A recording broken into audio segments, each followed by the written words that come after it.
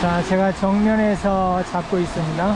여기 분수에서부터 청계천 시작해서 이 밑에 폭포를 거쳐서 모전교, 광차, 광통교, 그 다음에 뭐 산밀교 쭉 거쳐서 동대문 쪽으로 한대, 어, 그 다음에 살고지 다리 거쳐서 한강으로 빠지게 되어 있습니다. 자, 이게 에, 청계천 조형물입니다.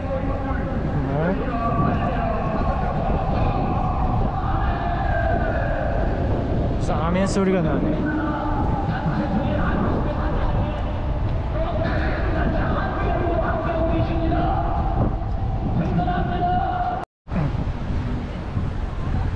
자, 제가 지금 3일교 위에 올라와서 어, 지금 청계천 위쪽 위쪽을 잡아봤거든요.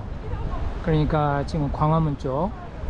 아, 근데 참 어, 도심 한가운데 이렇게 거대 도시 메트로폴리탄 시리 한가운데 이런 녹색 시냇물이 흐른다는 게 강도 아니고 정말 멋집니다. 에, 이명박 전 대통령이 에, 잘못한 것도 있지만 잘한 것 중에 하나가 여기 청계천 복원한 거고 그 다음에 각 4대강의 자전거 길 만든 거 보호 만든 건 잘못한 거고요. 그래서 아, 이건 참 잘하신 것 같습니다. 예, 멋있죠? 자, 제가 반대쪽으로 한번 건너가 보겠습니다. 자 이번에는 제가 3일교 3일교 어, 하류 쪽 그러니까 동대문 쪽으로 나가는 쪽 왕십리 쪽으로 어, 그쪽으로 나가는 쪽 잡고 있거든요. 3일교 위에서. 여기가 3일 빌딩 앞에입니다. 파고다 공원도 있고요.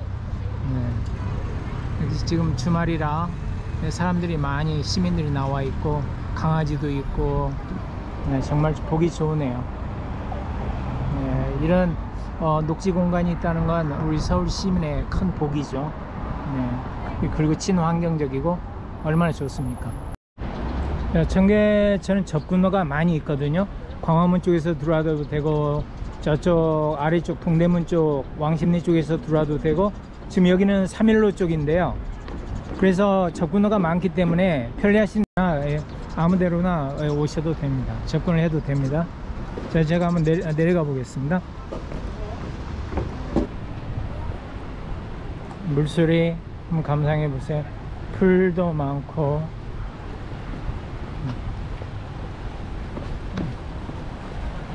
이 안에 물고기도 많이 있거든요.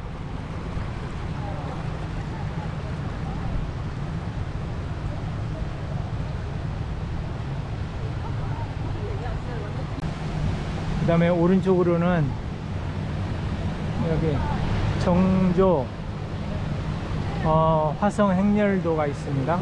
한 이게 꽤 되는데요. 여기. 지금 여기 오른쪽이 끝이거든요 굉장히 타일로 타일로 조각된 벽화 벽화가 아, 있습니다. 제가 쭉 가보겠습니다. 어, 멋지지 않습니까? 아래쪽으로 제가 잡아볼게요. 아래쪽으로.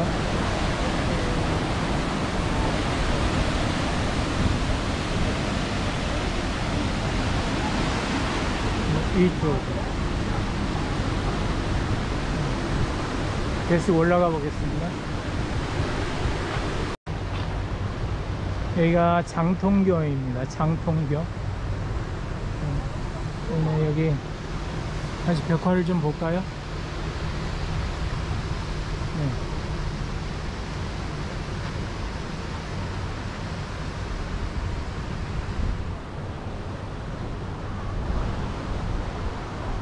지금 여기가 제일 네, 빡빡하게 호위병이 많은 거 보니까 아마 저 교가 궁자라고 적혀 있는 어, 저이 이 가마에 왕이 타고 있는 것 같습니다.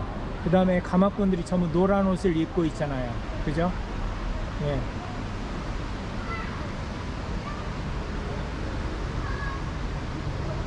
아니면 어, 왕 어머니인 해경궁 홍씨 예.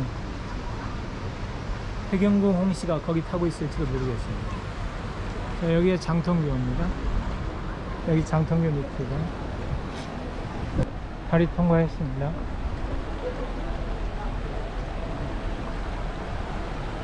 용기. 그러고 보니까 여기에 용기가 있는 거 보니까 이 가마가 아마 어 누구야 정조가 왕 정조가 탄 가마가 아닐까 그렇게 교가정이라고 되어 있는데요. 아까 뒤가 해경궁 홍씨 어머니 해경궁 홍씨고 이게 왕이지 않을까라는 생각이 드네요. 지금 여기 보니까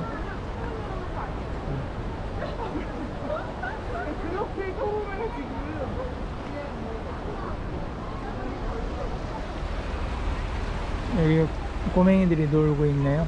징검다리가 있고.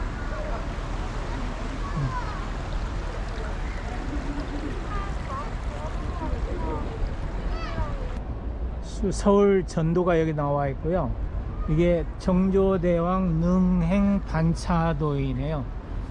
정조대왕 능행 반차도인데 이게 어, 정조가 1795년에 사도세자의 회갑을 기념하기 위해서 어머니인 해경궁 홍씨를 모시고 수원 화성이죠. 에 있는 그 사도세자 무덤을 다녀온 과정을 예, 상세하게, 상세하게 기록했다고 합니다. 그래서 여- 이 책이 원행 을묘 정리 의궤라고 하네요. 그래서 어, 이 판곽화로 그려져 있는데 지금 이 일행수가 1779명, 그 다음에 말이 779필 어, 이고 그 다음에 김홍도 등 당대 인류 화가들이 이 반차도를 그렸다고 합니다. 굉장히 아무튼 우리나라 그 복식이나 또는 어, 격식, 의상, 악대 구상, 악대 구성 등을 연구하는데 굉장히 중요한 어, 자료가 되죠 이게. 어, 외국인들은 어, 이 영어로 쓰인 이걸 참조하시기 바랍니다. 제 생각에는 정조가 이렇게 엄청난 예산을 들여서 어, 이런 그 행차를 했던 이유가 아마도 그 아버지가 비참하게 죽었잖아요. 근데 정, 정조가 그걸 그 할아버지가 살아있을 때는 얘기를 못했는데 그 뭐야 할아버지가 죽고 나서 영조가 죽고 나서 항상 그걸 아쉬워했거든요. 그래서 어머니가 쓴 그 해경궁 홍씨의 정말 그 비참한 어, 죽어가면서 비참한 모습이 그려져 있었기 때문에 어머니 해경궁 홍씨를 아마 그, 그 위로하기 위해서 어머니 해경궁 홍씨를 위로하기 위해서 이렇게 거대한 행렬을 벌이지 않나 않았나 저는 그렇게 에, 생각을 하고 있습니다. 지금 여기 보시면 예, 여기 밑에 꽃이 많이 피어 있죠. 예. 내가 제가 알고 있는 건 저기 고깔제비꽃 하나밖에 모릅니다. 고깔제비꽃. 예. 자 아래쪽으로 아래쪽으로 잡아 보겠습니다. 예. 멋지죠? 자 여기가 광교입니다. 광교. 광교. 저 다리가 여기 물고기를 한번 보도록 하겠습니다. 여기 물속에 물속에 고기 보이시나요? 물고기 피레미 같은데요. 많이 있죠. 네. 자세히 보시면 물고기가 굉장히 많이 있습니다. 여기 건널목도 있고요. 돌다리 아주 멋지죠?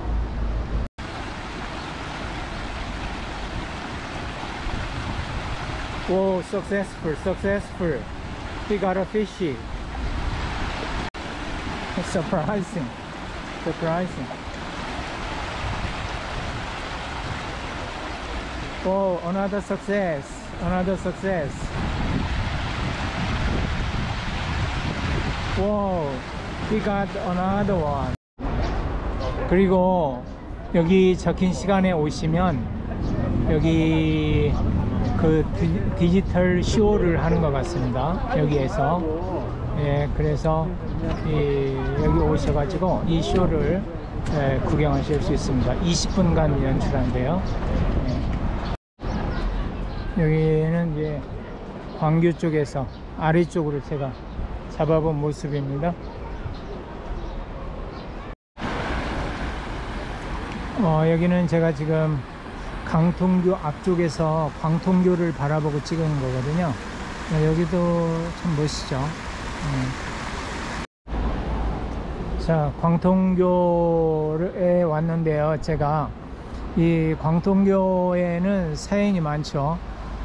이 이방원과 이방원 작은 어머니, 그러니까 이방석 어머니 신덕 왕후에 관한 스토리가 있는데요. 저 위에 보시면 저기 디자인이 있잖아요. 디자인. 저기 신덕 왕후 묘를 지키는 신장석인데 신장석을 갖다가 이 광통교 다리를 만든 거죠. 그러니까 그 이방원이 얼마나 이방석 어머니를 싫어했는지 알 수가 있잖아요. 그래서 어, 여기 지금 보이는 이런 이 신장석도 전부 신덕 왕후 건데 어떤 건 거꾸로 돼 있다고 해요. 일부러. 예. 그래서 여기 광통교 복귀하면서 그게 발견됐다고 합니다. 예. 어떤 게 거꾸로 되어 있는지는 모르겠네요, 저는. 예. 아무튼 이쪽은 그 시민들이 제일 많이 나와 있는 데죠. 항상 또 오늘 일요일이고 그래서 네, 시민들이 많이 나와 있어요.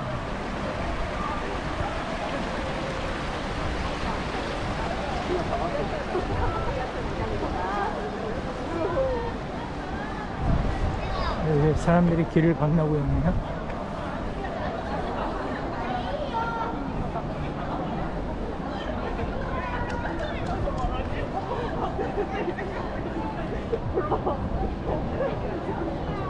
어 저기 물고기 있다. 오 걸어서 광안. 예, 모전교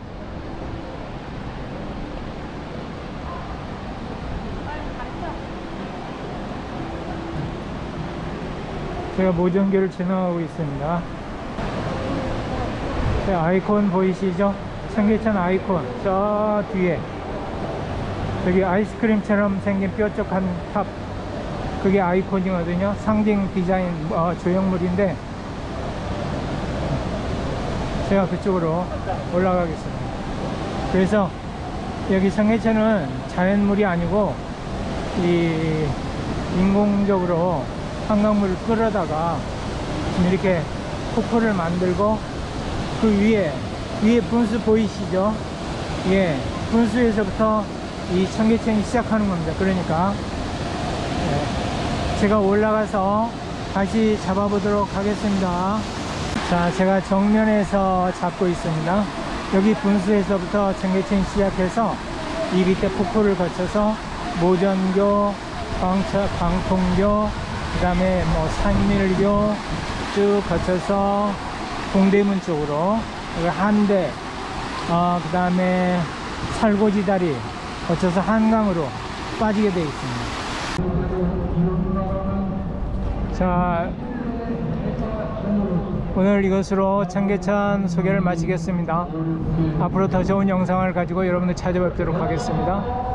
여러분들의 구독과 좋아요는 저에게 큰 힘과 도움을 줍니다. 감사합니다. 여러분 안녕히 계십시오.